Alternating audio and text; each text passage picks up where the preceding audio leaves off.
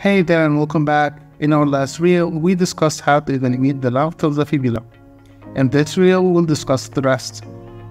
Let's start with the evaluation of the syndesmosis. There are two parameters, the tibiofibular clear space and the tibiofibular overlap. The tibiofibular clear space is the distance between the posterior tubercle of the tibia and the medial cortex of the fibula. The normal value shouldn't exceed 6 mm. The tibiofibular overlap is the distance of the anterior tubercle of the tibia overlapping the fibula. It should be maintained above 6 mm. Both parameters are measured 1 cm above the plafond.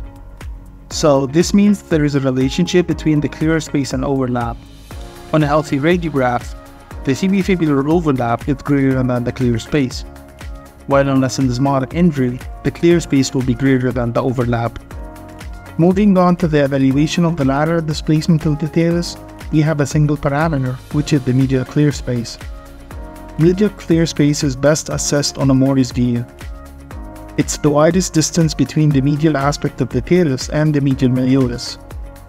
A medial clear space greater than 4 mm is considered abnormal and indicates a lateral talar shift secondary to medial lesions such as deltoid ligament disruption.